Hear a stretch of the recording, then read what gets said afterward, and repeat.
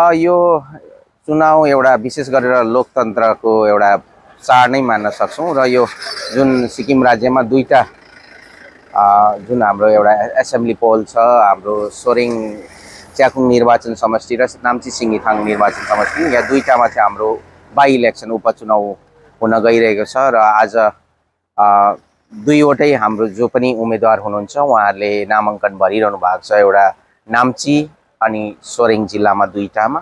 र विशेष गरेर आजको यो उहाँले जुन नामाङ्कन भन्नुहुँदैछ सर्वप्रथम त उहाँलाई हामी बधाई साथै साथै शुभकामना व्यक्त गर्न चाहन्छौँ। र आजको जुन यो एउटा स्वागत कार्यक्रम पार्टीको तर्फबाट राखिएको छ डाकिएको छ है र आज आदित्य गोलेलाई जुन रिसिभ गरेर स्थानीय जनता साथसाथै पार्टी कार्यकर्ताहरूले गेजिङ जिल्ला अनि गेजिङ सोर हाम्रो सोरेङ जिल्लाका हाम्रो आम जनता साथसाथै पार्टी कार्यकर्ताले जो उहाँलाई एउटा हर्षको साथ यहाँ चिरबिरेबाट स्वीकार गरेर लिएर जानुहुँदैछ र विशेष जानकारीको निम्ति मसँग हाम्रो स्पोक पर्सनहरू पार्टीको हुनुहुन्छ है कृष्ण लेप्चाज्यू हुनुहुन्छ उहाँ स्पोक पर्सन हुनुहुन्छ र युगेन तामाङ ज्यू हुनुहुन्छ। उहाँहरूले विशेष यो आजको जानकारी उहाँहरूले नै दिनुहुनेछ। धन्यवाद। विशेष गरेर हामी आज यहाँ press secretary to SCM spokesperson हाम्रो सिक्किम क्रान्तिकारी मोर्चा पार्टीको योगेन तामाङज्यू हुनुहुन्छ। त्यसरी नै स्टेट प्रेसिडेन्ट सोसियल मिडियाको हामी नवीन दाहाल हुनुहुन्छ। यहाँलाई जानकारी गराउनु पर्दाखेरि विशेष गरेर सोरेङ समष्टिलाई लिएर अनि नाम्ची सिङ्गिथाङ समष्टिलाई लिएर सिक्किम क्रान्तिकारी मोर्चा पार्टीको उम्मेद्वार अघिबाटै अति आदित्य गोले तामाङ सर सातौँ सोरेङ समष्टिबाट अनि एघारौँ नाम्ची सिङ्गिथाङबाट हाम्रो सतीश चन्द्र राई पार्टीले अघिबाटै उहाँलाई उम्मेदवारको रूपमा घोषणा गरिसक्नु भएको छ। त्यसकै प्रतिफलस्वरूप पार्टी समर्थक सम्पूर्ण क्रान्तिकारी सहयोद्धाहरू अनि लगायत जति पनि सपोर्टरहरू छ उहाँहरूको अपार भिड यहाँ भेला भएको छ। यो जोरथाङको यतापट्टि यो चिरबिरे भन्ने ठाउँमा यहाँदेखि हाम्रो आदित्य गोले साहबलाई हामी स्वागत गरेर सोरेङ लानेछौँ। आज नामाङ्कन छ। र यस्ता प्रवक्ता के भन्न चाहन्छु भने सिक्किम क्रान्तिकारी मोर्चा पार्टी भनेको एउटा सैद्धान्तिक पार्टी हो एउटा वैचारिक पार्टी हो। र अघिबाटै पार्लियामेन्ट्री बोर्डद्वारा संसदीय बोर्डद्वारा यी उपचुनावमा दुईवटा उम्मेदवारलाई घोषणा गरिएको छ। र पार्टीको फैसलालाई नै सर्वोपरि फैसला मानिन्छ। र ती फैसलालाई मानेर सबैजनाले यी दुई उम्मेदवारलाई भारी मतले जिताउने जमर्को कसेर यहाँ सबैजना भेला भएको छ। यसर्थ विशेष त अ, पार्लियामेन्ट्री बोर्डका सम्पूर्ण जति पनि सदस्यहरू हुनुहुन्थ्यो अनि सिक्किम सरकारका सम्माननीय मुख्यमन्त्री एवं सिक्किम क्रान्तिकारी मोर्चा पार्टीका पार्टी अध्यक्ष श्रीमान प्रेमसिंह तामाङ गोले सरप्रति सम्पूर्ण सिक्किम क्रान्तिकारी मोर्चा अनि जनता आभार व्यक्त गर्दछ। र यो चुनावलाई शान्तिपूर्वक जसरी गत चुनाव शान्तिपूर्वक एउटा इतिहासमा नै शान् शान्ति कायम गरेर सम्पन्न भएको थियो भने यो उपचुनाव पनि शान्तिपूर्वक सम्पन्न हुनेछ। किनभने अहिले सिक्किममा विपक्षीहरूको त्यति साह्रो सक्रियता छैन उनीहरूमा कुनै मुद्दा छैन र सिक्किम क्रान्तिकारी मोर्चा पार्टीले त अघिबाटै पाँच वर्षको कार्यकाल तिन वर्ष त महामारीले खाए तापनि जनताको मन जितेर जम्मा तिसवटा सिट एउटा स्यारीबाट पनि हामीसँगै गाप्दाखेरि तिसवटा सिट हामीसँग छ अहिले।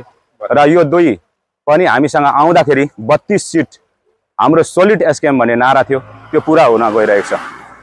Thank you HCM spokesperson पनि हुनुहुन्छ।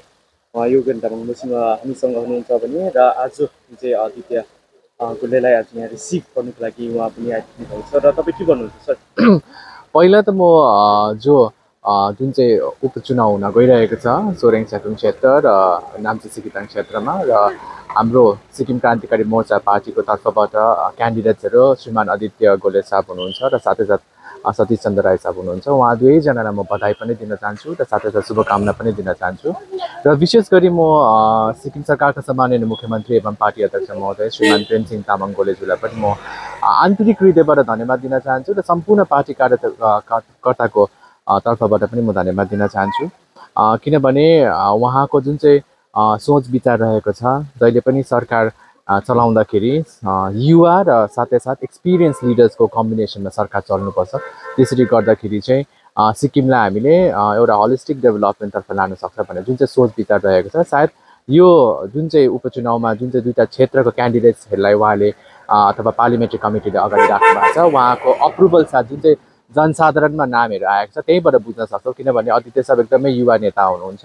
युवा सोच विचार भएका व्यक्तित्व हुनुहुन्छ र उहाँले अवश्य पनि सिक्किमको सोरेङ क्षेत्रको युवा अथवा मिन्स सिटिजन्सको लागि मात्रै होइन तर सम्पूर्ण सिक्किमका युवाहरूको प्रतिनिधित्व गर्नुहुनेछ सिक्किम लेजिस्लेटिभ एसेम्ब्लीमा र साथै साथ सतीश चन्द्र राई पनि एकदमै एक्सपिरियन्स पोलिटिकल लिडर हुनुहुन्छ र उहाँको पनि जुन चाहिँ पोलिटिकल नलेज छ जुन चाहिँ सरकारलाई काहीँ न काहीँ गएर सिक्किमलाई होलिस्टिक डेभलपमेन्टतर्फ लानुमा उहाँले टेवा पुऱ्याउनुहुन्छ भन्ने विश्वास राखेको छ। र साथै कारण मिन्स यो जुन चाहिँ उपचुनावको क्यान्डिडेट्सहरू दुईजना अगाडि राख्नु भएको छ त्यसले हामीलाई स्पष्ट रूपमा हामीले बुझ्न सक्छौँ कि श्रीमान प्रेमसिंह तामाङ गोलेको भिजन र गोल के रहेको छ भन्ने कुरा र आज हामी यहाँ जोरथाङदेखि नजिक चिरबिरेमा हामी श्रीमान आदित्य गोले साहब जो एसकेएमको क्यान्डिडेट हुनुहुन्छ सोरेङ च्याखुङ क्षेत्रबाट उहाँलाई स्वागत गर्न हामी आएका छौँ।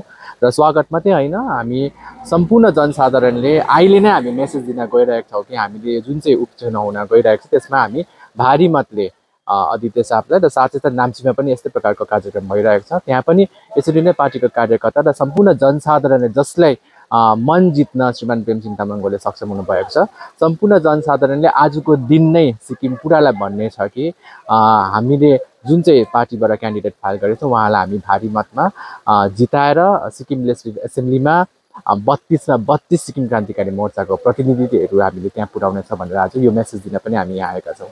सर एउटा क्वेसन है? अ, सर अलरेडी थर्टीवटा सिट त एचकेएम पार्टीको भइसकिसकेको छ र दुईवटा सिटको लागि है एउटा बाई इलेक्सनको लागि आज तपाईँहरू यहाँनिर रिसिभ गर्नु आइरहनु भएको छ। सो तपाईँहरूलाई लाग्छ कि दुईवटाको लागि है यो अभियसली नै जित्छ भनेर त तपाईँलाई याद भएकै कुरो तर पनि तपाईँहरूलाई लाग्छ कि यो क्याम्पेनिङहरू गर्नुपर्छ या पर्दैन भनेर तपाईँलाई के जस्तो? होइन डेमोक्रेसी हो।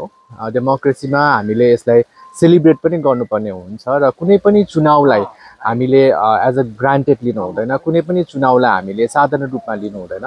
र किनभने यो डेमोक्रेसीको एउटा सेलिब्रेट गर्ने एउटा मौका हो यसलाई जस्तो प्रकारले अस्तिको चुनाव भएको छ त्यस्तै प्रकारले यो उपचुनाव पनि हामीले मनाउनु पर्ने हुन्छ। तसर्थ यो चुनाव मनाउनु भनेको चाहिँ सम्पूर्ण जनसाधारणको आकाङ्क्षा अथवा उहाँहरूको जुन चाहिँ भिजन र गोल रहेछ त्यसलाई मनाउनु पनि हो। त्यसै कारणले गर्दा हामी यसलाई चुनाव अथवा चुनाव नै हो र चुनावलाई नै हामीले कसरी काम गर्नुपर्छ भन्ने प्रकारले नै अगाडि बढेर लानेछ भनेर म यहाँबाट भन्न चाहन्छु।